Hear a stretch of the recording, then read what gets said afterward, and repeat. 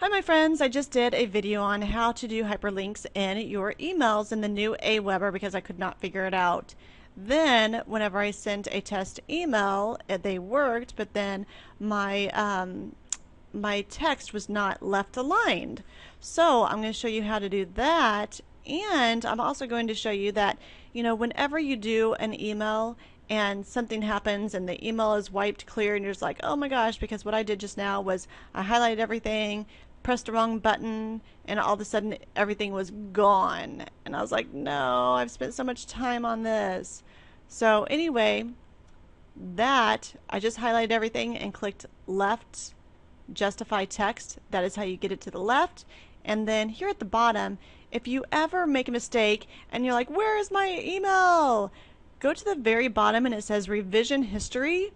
And then depending on, you know, when you want to recover what time frame, you can hit load and then it will recover your email, which is fantastic because I thought it was gone and I didn't know about that. So I'm super excited they have that feature. So if you think your email is gone, it's not. Just go down to the scroll down to the bottom of the page where it says revision history and click on whichever one you want. All right. Thanks for watching my video. Subscribe to my channel and you can visit my website wealthwithkyle.com. Bye now.